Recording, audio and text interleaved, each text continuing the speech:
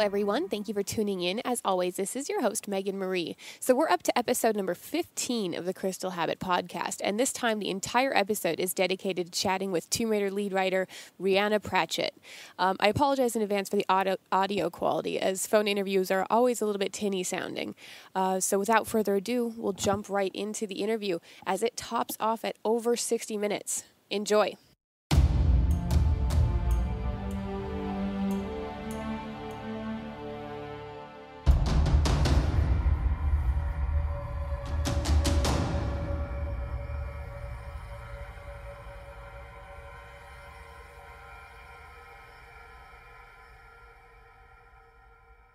Thanks for tuning in, everyone. As promised, I am here with TR lead writer Rhianna Pratchett, and I'm armed with pressing questions from you guys, the community. Uh, thanks for being on the show. Does it feel good to get out and start talking about Tomb Raider after a long time? Oh, oh yeah, definitely. I, I've been raring to go for a long time now, so it, it's great to be able to uh, get out there and, and talk about things and engage with the fans. Yeah, and we have a wonderful, passionate group of fans, and and and getting to the heart of their questions, having people like you and Camilla on, I know is really exciting for them. So thank you for being here and for answering their questions.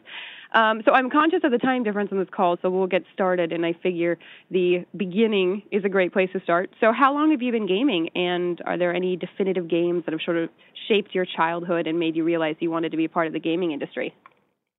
Well, I started gaming when I was about six. I started quite young. My dad was very into tech and electronics and computers, and so I remember him bringing home um, an amp. I think it was a, a ZX81, and he had a game mm. called uh, Mazogs on it, and it was a sort of 2D. I guess we call them dungeon crawlers now, but we had no such word back in those days, and it was sort of yeah 2D little pixelated man in a pixelated maze with pixelated spiders after him.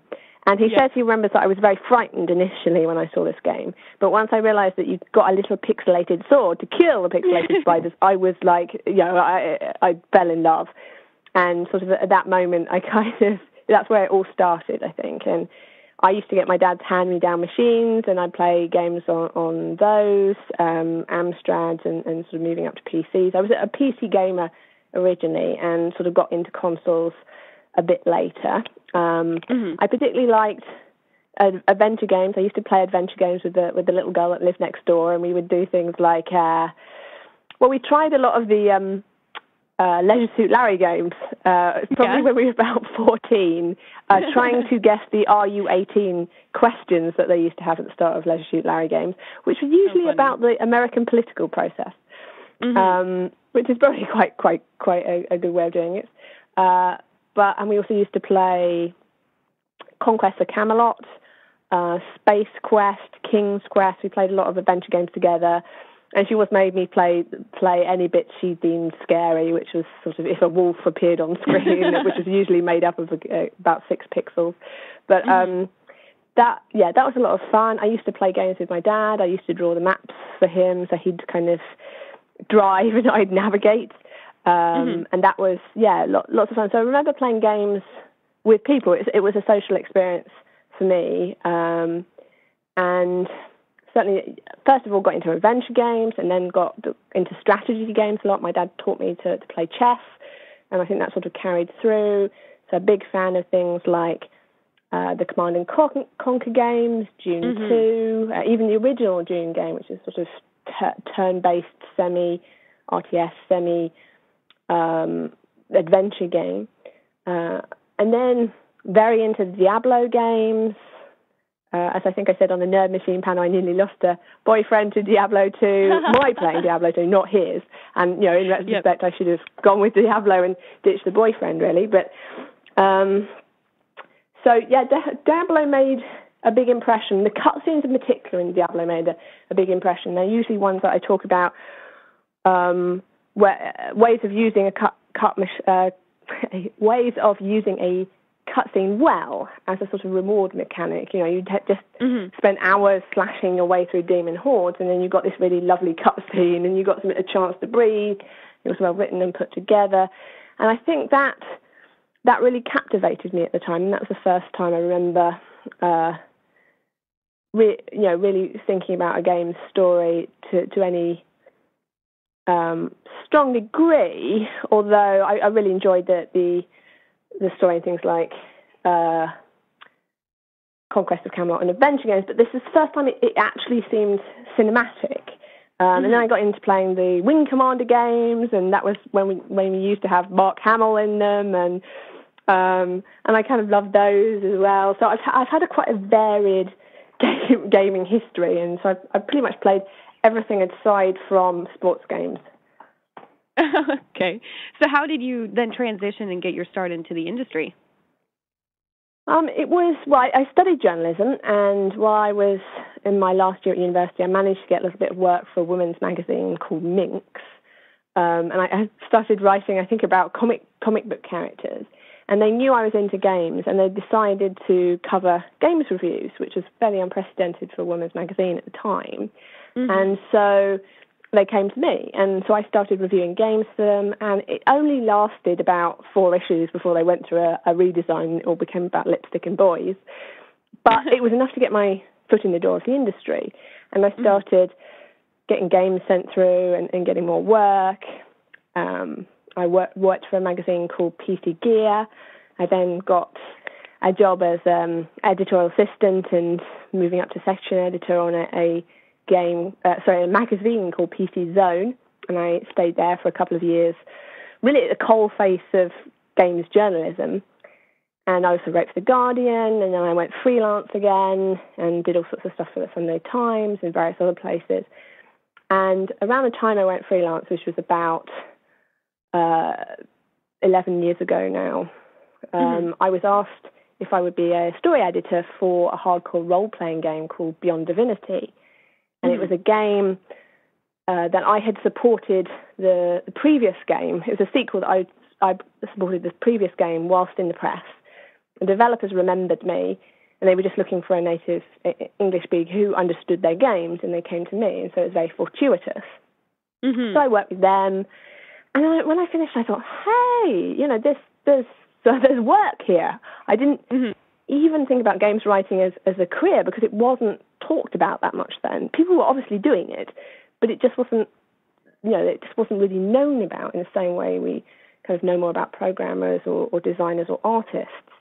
Mm-hmm. And so I started hitting up the contacts that I made as a journalist and saying, hey, you know, I'm doing some, some kind of script writing now and character work. Do let me know if there's anything I can help you with.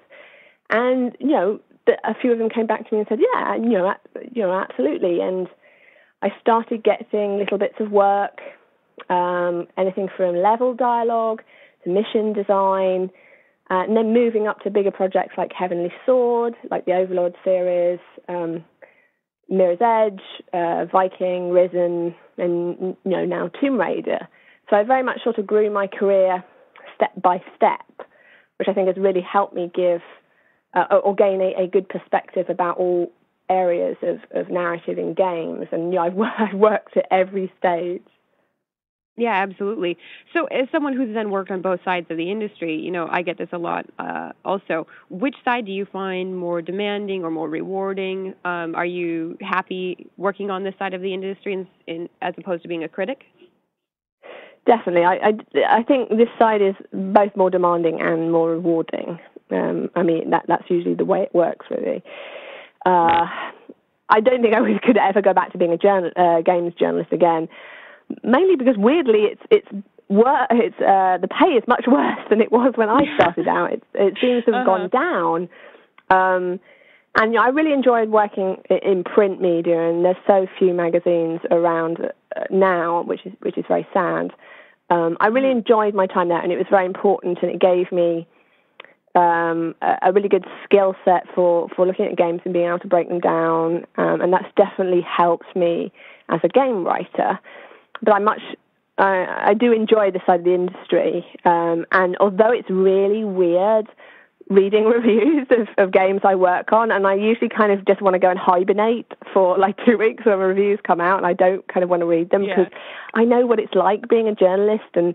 And, and I know what it's like being a developer, and it's kind of like yeah, that it all it all bubbles to the surface, and you know, I'm I'm sort of sitting there with my arms crossed, going, "Oh, I can tell that they only played, you know, the first two levels or something like that." And I get sort of outraged yeah. about it, but um, yeah, it's it's it's been it's been a really interesting transition, but re- a, a really valuable one, I think. And did you think? Do you feel like your skills uh, translated fairly well because as a games journalist you're you know you're reporting factually and then you have your editorialized pieces but now you're creating fiction was that something that you felt kind of came naturally to you or was it an adjustment um, it seemed to come quite naturally. I mean, I'd done I, would um, done a bit of that growing up and wrote short stories and things like that. I don't think I sort of rebelled against being a writer, uh, sort of during my teens. I think for for semi obvious reasons, I guess. Yeah. Um, and I sort of leaned towards journalism because I didn't really know what I wanted to do with my life. Um, mm-hmm. And journalism is great for that because you get all, you know, you got various opportunities. And I went through a, a whole phase of wanting to be an actress and a lawyer and a mermaid. Um, and, yeah, sort of settled on journalist, and then mm-hmm. sort of kind of got eased eased into the creative writing and since then, um, you know, it's it's flourished a lot more. I, I do my, much more stuff outside of games as well. So I, I write comics and I work on screenplays and TV shows and uh, short stories and pretty much everything apart from novels, which I'm I'm I'm leaving to Pratchett Senior. Yeah. So then, speaking specifically to Tomb Raider, what's your history with the Tomb Raider franchise? I know you've said you've been quoted as having sort of a love-hate relationship with uh, this, the series and the characters. So, do you care to elaborate on that? Yeah, it's an interesting one. My first ever industry event which was actually a Tomb Raider 3 launch party. And my dad was known as a Tomb Raider fan at the time, and they'd mm-hmm. invited him along, and I, I came along too. And that was my sort of first foray into the games industry, I think. And I played the first game, um, and that was, you know, I, I loved that one. I played a bit of the second. I can't remember whether I actually ended up playing any of the third. But um, after that, I was sort of aware of titles, and you know, I played the odd demo, but I never really um, got into them again as strongly as I did at the start. Um, mm-hmm. I'm not entirely sure why that is. And I was a bit worried at first that, that maybe Crystal would see that as a disadvantage, but actually they, they saw that as, as a good thing because it meant I came to the, the franchise with fresh eyes and I wasn't necessarily beholden to everything that had come before, which was which was very much the attitude of the, the whole team on the project. So when were you first approached to work on Tomb Raider then? Um, it was about two and a half years ago, and I was already working for another Square Enix Eidos title, and so I was contacted through the internal mail system. And I'm not even sure whether I knew there was a Tomb Raider reboot um, mm-hmm. in the works. I think maybe I did. I can't remember. But um, I did a test. Uh, I had an interview. I, I wrote some of the um, uh, some of the demo demo scenes, uh, some of the early scenes with Lara and Roth, um, which I think have been shown now. Mm-hmm. And yeah, they were Crystal was very much looking for someone that could capture Lara's voice, and you know, I, I, I seemed to do be able to do something they liked, and, and so they they went with me as as their writer. Uh, but yeah, it seems a very long time ago. It feels like I've been working on this project for a very long time. No doubt. So, what were your initial thoughts then when you were approached about writing the franchise, considering it's such a you know beloved franchise and it was such a new direction? Um, I'm very much someone who embraces challenge and someone who, mm-hmm. who will go towards the things that scare them a little bit. Um, and yeah, I'm always looking for that next challenge and, and what I can help change and develop and, and really sort of put my stamp on. And I thought this is a great opportunity to go and to, to reboot, to revamp, revitalize, however you want to put it, um, a character that I'd sort of fallen out in of love with, and it's like here you go, now you get a chance to to make her what you would have liked her to have been. Um, yep. And that's kind of like that. Those opportunities rarely happen, and it was kind of Absolutely. like, yeah, definitely a once in a lifetime opportunity. I think. so this is something that I know the fans actually would love a, a slightly a deeper explanation on. So, as lead, lead writer, which parts of the narrative are you specifically involved with? Because you work very closely with Noah Hughes, who's our creative director, and then John Stafford, who's our narrative designer. So, can you kind of describe the relationship between the three of you? Yeah, absolutely. Um, so, I largely handle the cinematic sequences in the game. So mm-hmm. I work on the, the core storyline of the game and all, all the scenes that are mocap and a, a lot of the, the radio dialogues as well. Uh, basically, what we call the core narrative, which which forms uh, a lot of the heavy la- narrative lifting in the game. Uh, mm-hmm. John, who I think has been on the project about a year, just mm, between a year and a year and a half. Um, John is uh, responsible for the level dialogue that happens during the game. Um, mm-hmm. I wrote a little bit of that to start with for, for our, our demos, and then John came on board and he, he really handled that. So he also does a lot of the AI dialogue as well, and Lara's dialogue as she's progressing through the game. Mm-hmm. And we, we would all, all three of us would feedback on each other's work. So I would look at what John was doing, he would look at what I was doing, and we sort of formed a kind of narrative triangle, and we would discuss problems and if a scene needed to be changed, um, how we would do it.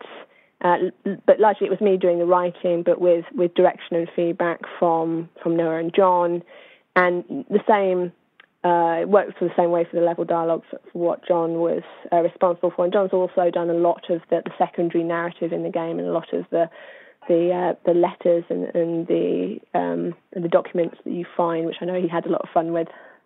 So, what other members of the team have you worked closely with, and um, like, what's the traditional collaboration method? Because obviously you're out in the UK, so do you do usually communicate through email, conference calls? How often do you make it out to the studio, and so on? I've probably been out to the studio about four times now for various lengths of time. Um, there was usually a lot of conference calls, lots of emails, messenger. I mean, technology has made the world a much smaller place, so it's, it's far easier to be a, a, contractor as long as there there are these these feedback loops in place. Mainly, it mm-hmm. was John and Noah I worked with. Um, I worked with initially Tim Longo, who I think was the original experience director. He, he was mm-hmm. there at the start, and I worked with worked with him. Um, but mainly, yes, it's it's been Noah um, and then John. Um, and, yeah, I've had a little bit to do with uh, other members of the team, Ron and Brian and Daryl, mm-hmm. and, and also Janos, who is, is the creative head of, of Eidos. Um, he, he gave his feedback, and we, we talked about a lot of things during the course of the game. Mm-hmm. So, how do you start working on a project that's so large? Um, do you just dive in? Is there like a professional process or a motto that you follow, or is it just kind of like an organic evolution? It really changes depending on the project um, and when you've been brought on board. It, there's there's never you know one answer when it comes to games writing because mm-hmm. y- your job can can vary majorly depending on if you're um, brought on board a year into the development or three months before the end. mm-hmm. Excuse me. Uh, and yeah, so there's no one way of doing it. It, it. The situation is like having a box of narrative parts handed to you. It's a bit like being Dr. Frankenstein. So you get a box of parts, and this will include things like there may be a story arc, there may be some characters, there may be some visuals, there may be some themes. There, you know, there may be uh, lots of stuff in place. There may be not much stuff in place. You never know what you're, you're going to find in the box. And I don't want to go with the Forrest Gump analogy. I prefer the narrative body parts. But um, it's like that. And you kind of so they hand you over a box of body parts, and it's basically you, you have to examine what's there, what isn't, how you stitch it all up, and, and make it into a, a living, breathing story again. Um, and yeah, you it, it all depends on what's in that box. Uh, mm. And that can depend on a lot of factors. It can depend on how important narrative is in a game, um, how, for example, you know, an action adventure game would have less um, narrative in it than, say, a hardcore role playing game. But mm-hmm. then an action adventure would probably have more narrative than, say, a strategy title. So it, it, yeah, it really depends on the genre for the project when you're brought on board and the um, the attitude of the team towards narrative, how how important it is in the game. I think that's really interesting because I think some people have a perception that you just start from ground zero and they're like, create a story, but there's a lot of puzzle pieces already in place, and then you're brought on to help make sure that that narrative uh, you know, it makes sense and that it's fleshed out properly, and that it is very collaborative and iterative process. So that's very interesting to hear explained. Yeah, it, it is very weird. There's no there's no real blank page in games writing. You you know you rarely start with a blank page. There's always something there, and you know it might get shaken up. It might get completely changed, but you're always working within um, the limits that are there, whether it's a limit of time or budget or gameplay or, or level mm-hmm. design. There are always limits that you have to to learn to work with, and that can be you know, a, little bit disarming for, for writers, especially if they come from other mediums and they're used to being there at the start and creating yeah, and not necessarily working with this box of narrative body parts. Mm-hmm. Um, so that it is there is a real difference writing for games than, than other entertainment mediums. So looking at that box of body parts, like was there a specific aspect of the game that you found particularly difficult to flesh out? Was it like a certain scenario or a character or, a string of dialogue? And then how did you overcome these obstacles without spoiling anything? Obviously, you may not be able to hmm. honestly answer that with what we've revealed so far. Uh, I think it was actually trying to make sure that, that players, particularly the testers, understood what was what was going on, especially with, with our backstory, and mm-hmm. how that comes through in the game. And I think I think we spent quite a lot of time trying to sort of juggle how we told that backstory and revealed it to the players, and sort of making sure that they were, were getting it along the way. Um, and that that's always a challenge. How much information do you give players, given that the nature of playing a game is so different to the nature of watching a film? You know, you don't mm-hmm. know if a player has um, just sat down and is banging right through the game, or they are playing a little bit and going away for a week and coming back, and they've forgotten everything, and um, you don't know if they're, they're skipping cutscenes or, or whatever. So it is, it is a real challenge to try and give the players enough information so they get it, um, but not too much so it feels like you're constantly repeating yourself. So that exactly. was that was a challenge, telling our telling our backstory and, and getting players to, to understand that and, and that to be clear and, and the, Lara's motivations as well. And I think that's, you know, that took a lot because that, that's very iterative. You've got to sort of listen to, to player feedback and test the feedback and, and, and just keep iterating accordingly until it's all coming together. And, and one of the interesting things about games writing is it has such a large feedback loop. If you're, mm-hmm. you know, working on level design, you can build something, drop it in the game, and bang, it's there. You can see if it's working. If with games writing, you have to write it, then you have to cast it, then you have to record it, and then you have to drop mm-hmm. it into a game, and then there might be animation. And so the the loop from actually writing it to it being in the game and fully animated and fully voiced is a long time. And Absolutely. there's a lot of kind of steps in between, which can look kind of ugly and uh, sound bad, but you have to kind of trust that they're, they'll all fall into place eventually. all right. So this is actually a pretty poignant question that I know a lot of people wonder. Some writers state that you know you need to be a woman to know a woman character, or so on in regards to other you know attributes of humanity. You've stated before that you tried to write Lara first as a strong human character, and that her gender is sort of like a secondary consideration. So, what is your reasoning behind this approach to writing Lara? Um, I just find it more interesting looking at the uh, you know the things that make us human, the things that unite us regardless of gender. Mm-hmm. I think they they in some ways can be more powerful. Uh, and also, I think people, you know, people focus a lot on, on Lara's gender. People focus a lot on my gender, and you know, sometimes I like to push that aside and just look at what is the human story here, because I think that's something everyone can relate to. And I, uh, I don't want to feel that if I was telling a, a story about uh, being female, I didn't want to feel that that might exclude certain players. So it's it's it's much better, I think, to to to look at the human story. Um, I mean, Lara is a great female character, and also I've had the, the privilege of working on other um, strong female action characters as well, Faith from Mirror's Edge and Nariko and Kai from Heavenly Sword. So I've been sort of I, I've done it a lot, but I always give the my female characters as much dedication as I give my male characters. I mean, you you have to really. Mm-hmm. Um, but yeah, it was that that human story I was really interested in. and I, and I do feel like that comes across. It's wonderful seeing people. I get to be on the show floors a lot and kind of on the ground level, seeing people playing the game, and I really do feel like uh, we've achieved a, a level of people, you know, people identifying with Lara, which is such a great thing to see. Um, yeah, I mean, I really wanted. Yeah, I was really hoping for that. So that that's that's very uh, exciting to hear. It is. It's very exciting, and it is a very fresh take, I think. So similarly, being British must help you kind of infuse the correct level of cultural awareness into into the character. So, what ways did you bring out her um, sort of cultural identity in the character?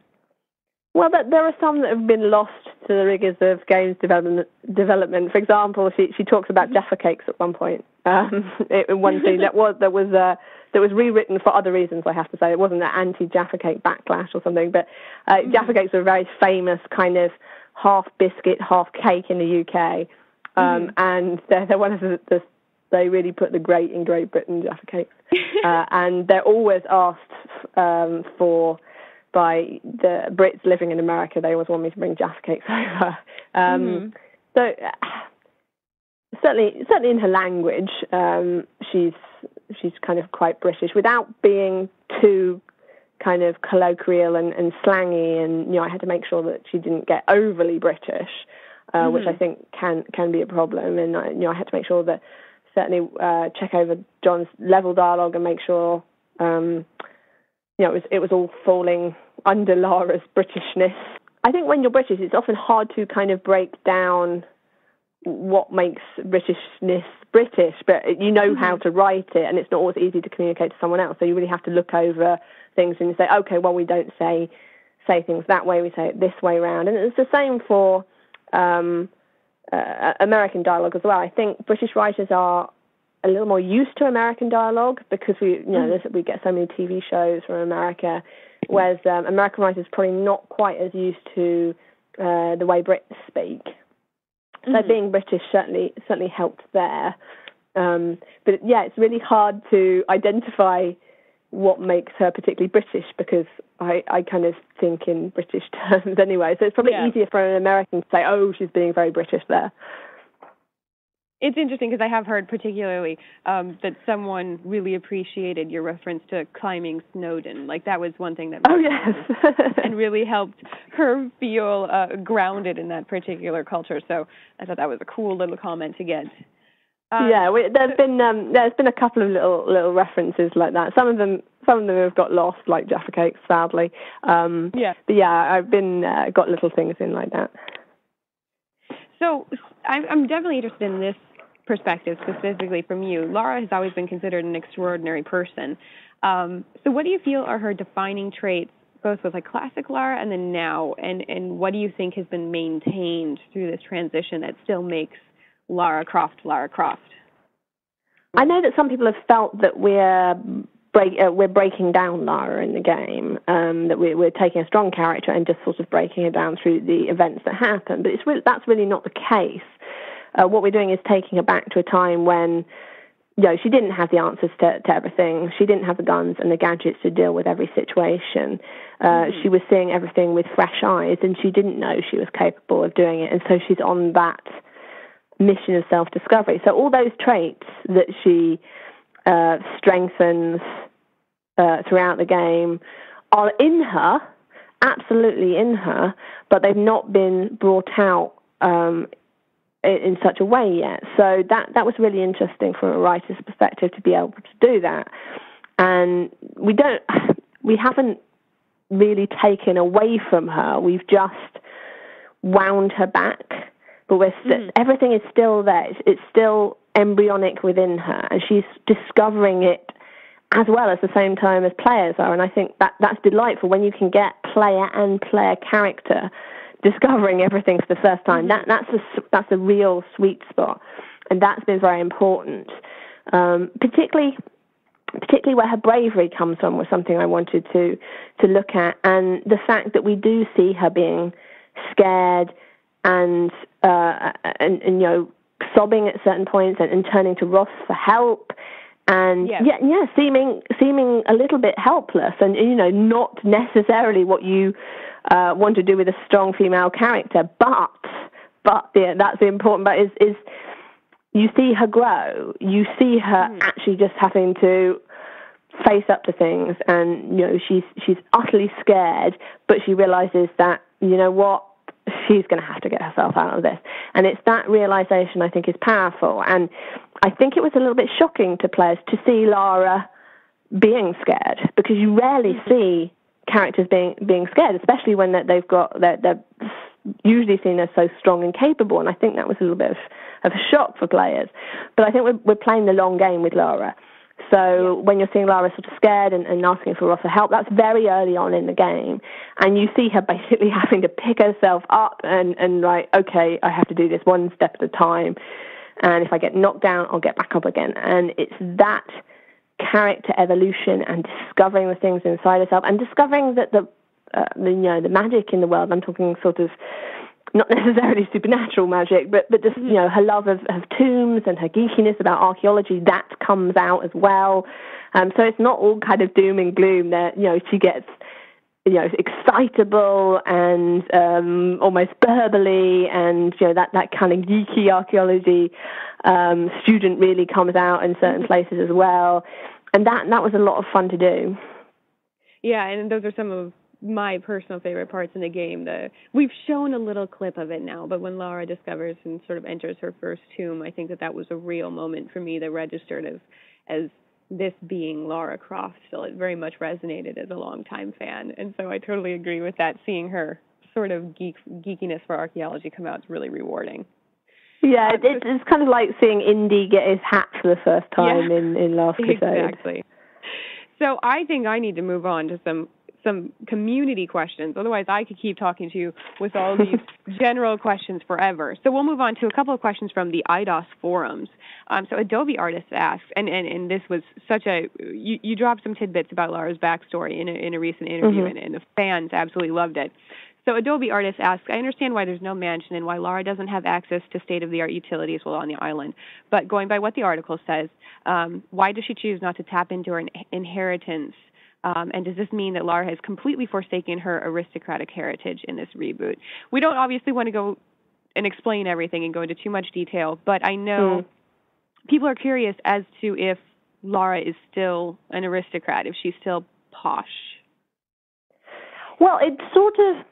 I think there are. Uh, the word aristocrat doesn't really exist as much in England as it used mm-hmm. to. Certainly not when when uh, uh, Lara first came out, and I, I think people sort of mi- mistake aristocrat with with royalty and and things like that, and it's not really used in that way anymore. So, for example, um, we wouldn't necessarily say that every lord is necessarily an aristocrat. I w- I wouldn't say that, that Lord Alan Sugar considers himself an aristocrat. You know, my father is a knight; he is a sir. I don't think he considers himself an aristocrat. Yeah. Um, so Lara definitely comes from money. Her father is titled. At the start of the game, her, her parents are missing. They've been missing for a number of years.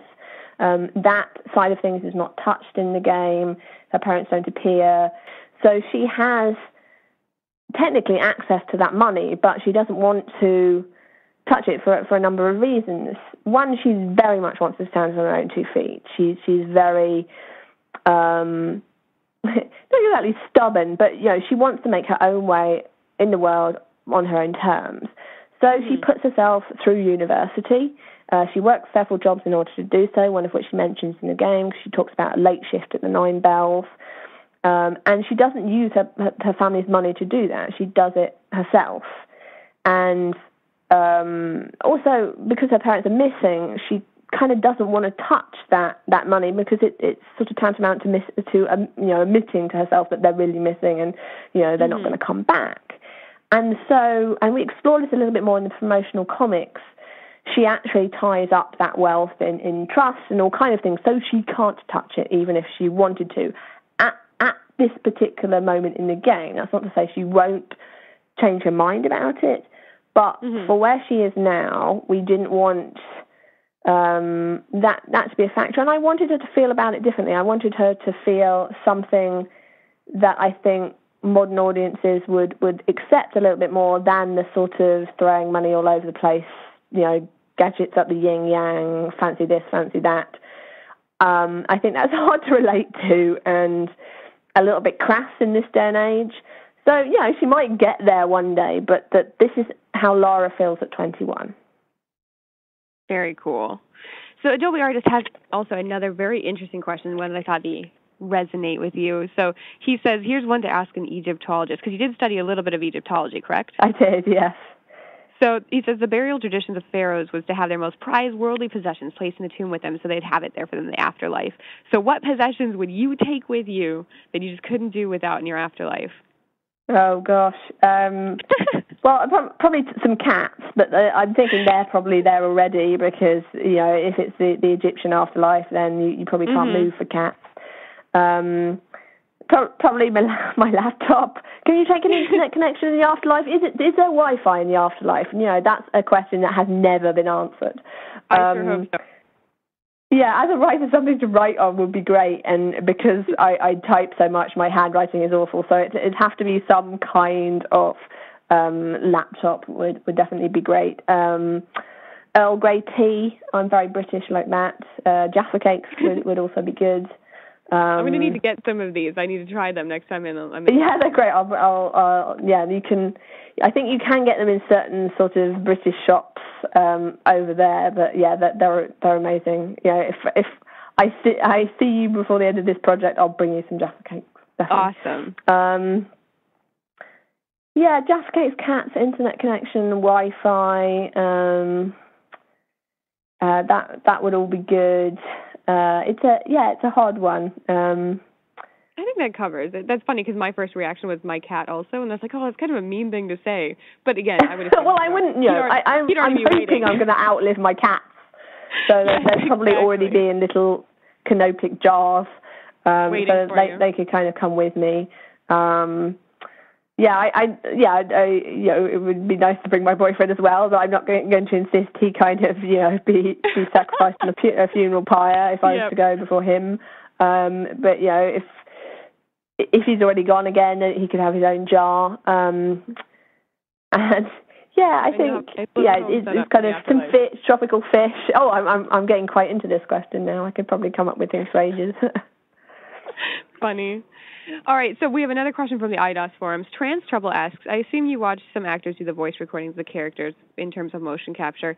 Um, did you have anything to say in terms of last minute changes to the script when you noticed something wouldn't suit the actors? So essentially, he's wondering, did the script change or any scenarios change to accommodate what the voice actors brought to the table? Um, you know, specifically, maybe with Camilla, did any of that change based on how she delivered performance? Not that much. We did. We all did. Always did um, sort of practice performances of the mo capture shoot. So it's more likely that things would change because um, maybe when an actor read it, it didn't sound quite as good as it did on paper, and so it needed a little bit of tweaks, or, or maybe it sounded a little awkward, um, and so that it would get tweaked because of that. Um, but it, it, was largely quite small stuff. So that the bigger tweaks came if there was something in the gameplay that was changed or the level design was changed. Mm-hmm. Um, yeah, we always paid attention to the performances and we always gave feedback on that. And there would always be kind of little things that that sort of came out um, through the direction of it. Uh, but there wasn't there wasn't sort of too many changes. It was it was just little stuff here and there, and it was it was the sort of gameplay and the level design that that um, really brought bigger changes in rather than the, the actors themselves. Okay. So Dark Angel asks, will you also write the new Tomb Raider comics? So we can't talk too many details about this, but you did confirm a little yes. bit about the comics. Yeah, I believe so, there's actually been a press release about it now, so I'm allowed to, to officially say that. So I've I've written um, uh, I don't I don't even know if I'm allowed to say how many, but I, I have written the promotional comics um, and these take place prior to um, the in, endurance expedition. So the, they explore sort of what happened in the, the, the, few weeks running up to it, and that was really really enjoyable to do. Actually, I got to to explore uh, a lot of the characters' backstories. Mm-hmm. Um, and I, I, got to work a lot with the character of Whitman, who who is one of my favourite characters. Um, yeah. And so that that was a lot of fun to do, and it, I think it will really help players kind of un- understand the characters a little bit better and where they've come from and, and, their their sort of attitudes towards Lara and their relationship with her. Right. So Dark Angel also asks Ellen Ripley, Sarah Connor, or Lara. It's kind of an evil. Oh, that's really difficult because you know Lara's my baby now, and um, I don't know. I you know I I love them all for different reasons. I grew up on on Alien and Terminator, and mm-hmm. You know I once went to a fancy dress party dressed as an amalgamation of Ripley from Aliens one, two, and four, and so I had kind of like combat pants and a vest top and a and a you know makeshift flamethrower and a small ginger toy cat on my shoulder and um I think a, a USS Sulaco hat um, and uh, I I sharpened and uh, pointed my fingernails and painted them brown, and had an eight on my um, uh, on my shoulder. So yeah, that. Although lots of people thought I was meant to be Lara Croft. it's but, amazing yeah, how often anytime somebody has a pistol or like holsters. Yeah, it is true. so it, it really started with Ripley. Yeah, it really it really started with Ripley for me. So that's when my fa- my first love is. Okay. Um, I think um, that's a fair that's a fair answer. it's very difficult to choose. Absolutely. So, and then Shaik asks in Mirror's Edge. So he's a big fan of your Mirror's Edge work, by the way. He had about four questions related to your tying your work with Faith to sort of with Lara. So he says Faith mm-hmm. has to save her sister, and in Tomb Raider, Lara Croft has to save Sam. Are there any other similarities you feel that these two characters have? I mean, they both they both have a lot of history with each other. Um, I'd say that Faith and, and Kate have a much more of a strained history together than um, Lara and Sam do. Lara uh, and Sam they both went to university together. So Lara studied archaeology at UCL, and um, uh, Sam studied uh, cinematography there. And Sam is is you know, as you'll see in, see in the comics and, and, and also in the game as well, she comes from a very rich family as well. But unlike Lara, she, she really makes the most of it and she's a kind of much more of a mm-hmm. socialite and, and party girl. And she really, but but she really cares about Lara. She she does admire Lara's integrity, and even though that's not how she chooses to live her life, um, she respects Lara for doing that. But Sam, at the same time, is very passionate about filming, and um, she's a documentarian, and so she has her geeky loves as well, and um, and that you know that's a lot of fun. Again, that that's sort of explored in the comics. So she's been through you know university with Lara, and she was always the one you know trying to get Lara away from her books and you know into mm-hmm. the pubs and clubs and stuff, and she sort of kept Lara. Uh, you know, actually having a social life as well mm-hmm. as kind of uh, hitting the books. And so there's a lot, there's a strong friendship between them, and, and there's kind of, um, there's a lot of love, love between them. Uh, and so, with, but with Faith and Kate, because they sort of start almost on opposite sides, in, and again, the comics, the Mirror's Edge comics, were used to explore why that that relationship um, turned out the way it did. So I'd say definitely hit the promotional Tomb Raider comics if you want to find out more about Lara and Sam and, and, and Lara and all the other characters. Um, so there are a few similarities, but but not that many between them. Okay, so we have a couple of questions from Facebook too. So Kyle Cooper Smith asks, "What non-Tomb Raider games would you say influenced the story for this game?" But you can open that larger too, if what just general uh, sorts of stories or narratives inspired you when writing this new version of Yeah, I mean, what, one of the things I remembered when I came on board was the movie um, The Descent was a big mm-hmm. influence for uh, Crystal. And I thought that was great. It's like there was, there a big American developer who was referencing a fairly small indie cult movie, and mm-hmm. and you know I thought that was great. And I'm a big fan of, of Neil Marshall's work, and I'm a big fan of The Descent in particular. Um, so that was definitely one. I know Lost was was an influence uh, to a degree. Um, so I'd say those two in particular, uh, mm-hmm. especially especially for, for some of the visuals for Lara. We have another Facebook question from Isaac Cabrera, and this one's a bit of a complex one. So he says, How difficult is it to write a strong narrative for such an iconic character who in the past is known for controversy due to the complexity of female empowerment while also being a sex icon? And while trying to keep the balance between that, um, how do you keep the balance between what you personally want to put into the character? And was there a time you had to cut any sort of lines or story direction because you felt that it went one way or the other too far? No, I don't think so. I, I think both Crystal and myself had quite a good idea of what we wanted to do with Lara, and we really gelled with, with how we wanted to develop her character along the way. And because I worked so closely with Noah and John, we really knew what we what each other were thinking about, where to go with her, and we were constantly feeding back. And we were, you know, we were quite sensitive um, to to how we were portraying her. And of course, you know, I spoke earlier about you know that the, there is a risk inherent with showing a character that has traditionally been very strong and capable in back in a time when she wasn't quite as strong and capable, or she was, she just didn't realise it yet. Um, mm-hmm. But you know, as I said before, we're playing the long game with her, so that's very early on, and you'll see her her develop and and uh, her access that strength within her, um, and you know fight on through the game. And I think that that was a very interesting thing to do. So it's always a balancing act, but you have to take choices as creators, and you you know that you're not going to. Um, you know, satisfy or, or, please everyone all the time, but you just have to make it make a choice and, and stick with that creative vision. We have another question from Tumblr, and Violet Story asks. She says, "For Rhianna, who says she says you're totally awesome, by the way. I just wanted to ask for any advice for writers um, wanting to break into video games. That's a big question. Well, for, for a start, play video games. And I know that seems obvious, but it's amazing mm-hmm. how many writers come up and ask me about writing for games and they've never played a game. Um, mm-hmm. Know the medium. That that's one of the most important things uh, play as many games as you can. Obviously, being a journalist, that meant I actually had to do it and was thankfully being paid to do it.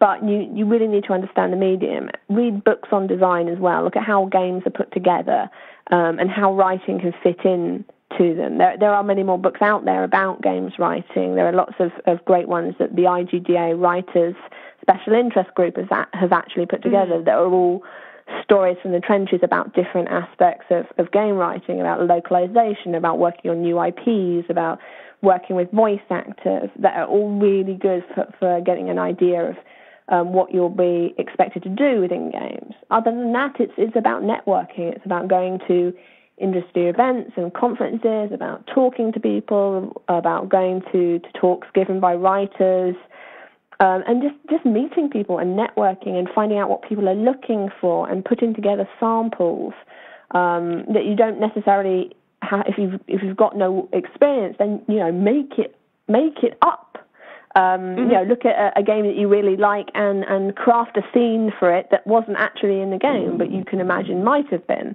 um, look at kind of bark dialogue, do do a cutscene sample, do a level design sample. And again, these, these books can be very good for sort of breaking down the different elements of narrative and allow you to, to get an idea of how they're put together.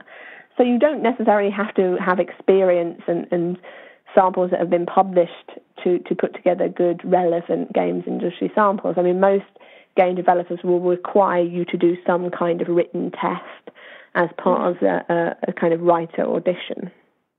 That's usually my first piece of advice when I get, I get a lot of questions about specifically breaking into games journalism, and I just say start writing. There's nothing stopping you from starting yeah, your own blog, absolutely. from covering events, and and other than networking, just starting to write and craft and hone your own voice is so important. So it's uh, awesome to hear that reinforced. So we have a handful more questions. We got three more questions. These ones are from Twitter. Okay. So, Poke Warrior asks, were there any characters in your original story that were cut, and did you miss seeing them go?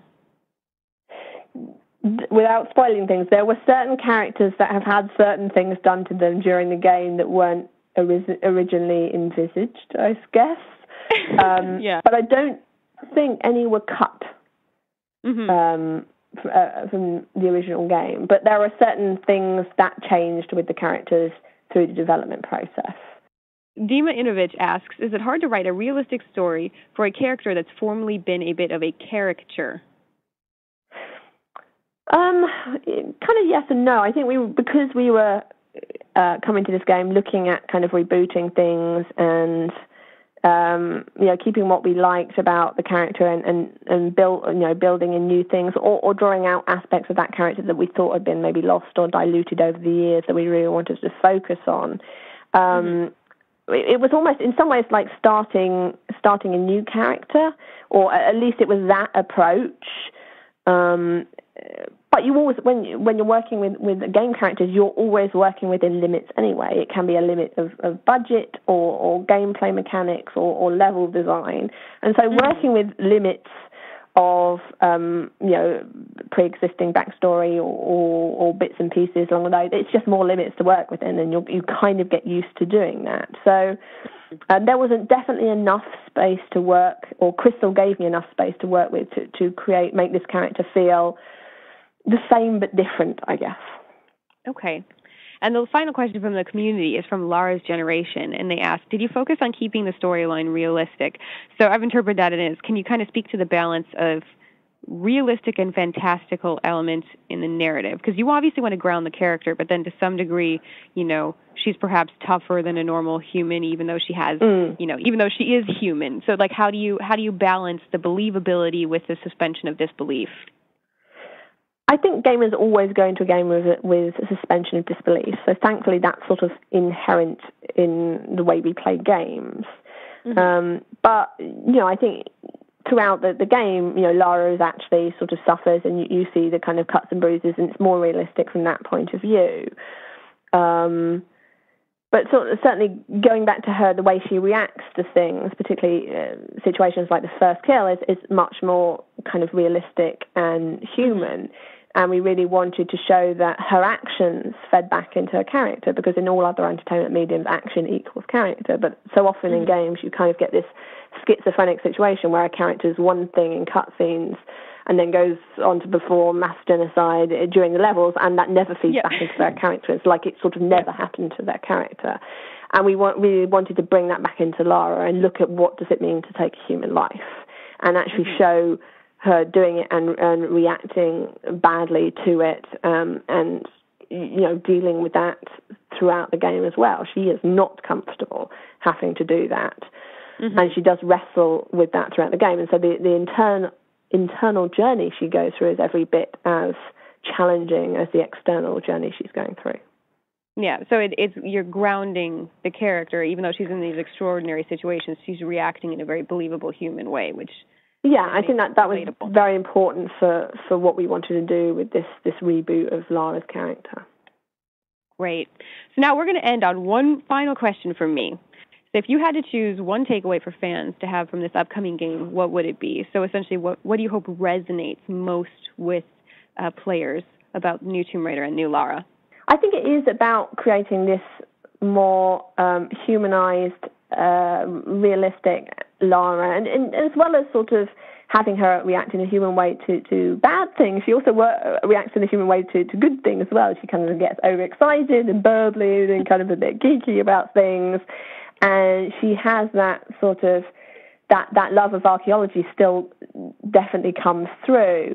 So it's just it's about making her relatable, um, but still interesting and, and not dull. We're taking players on, on a journey with Lara. We're we're taking them through the origins of her character and how that develops, and that's that's a very powerful experience. Or I hope it's going to be a very powerful experience. We've certainly been getting a lot of good feedback about it. Um, mm-hmm. So I think that's probably the takeaway.